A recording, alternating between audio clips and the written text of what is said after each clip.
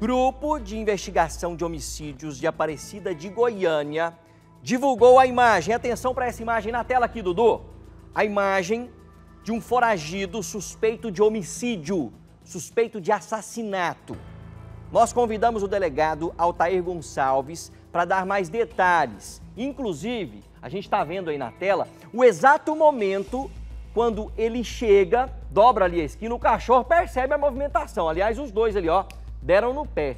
E aí, depois disso, o homem volta correndo depois de praticar o crime, o delito. Ele é foragido da Polícia Civil. Inclusive, quem tiver informações, apesar dele estar ali com o boné baixo, tá complicado a identificação, mas quem tiver informações vai ajudar a pegar esse criminoso. Inclusive, o delegado está aqui comigo. Como tudo se deu, doutor? É, qual é a possível motivação? Como é que esse homem chegou até a vítima? Foi tudo muito rápido. Como é que está a investigação até o momento? Boa noite. Boa noite, Branquinho. Tudo bom?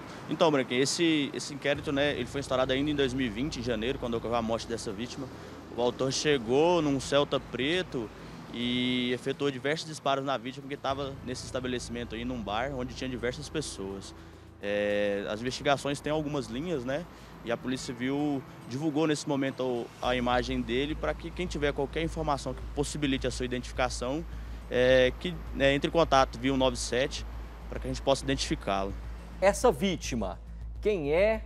Qual é a possível motivação? Porque parece se tratar de um profissional. A forma rápida, se tiver o vídeo aí, coloca o vídeo, está rodando aí, a forma rápida com que ele parece que chega, ele parece que é fita dada, como diz no jargão popular, né? Ele chegou ali sabendo onde é, o homem estava, sabendo que ele estaria ali desguarnecido, chega rapidamente, comete o crime e volta até para o carro distante, né? Para não chegar bem próximo à cena do crime ali que ocorreria.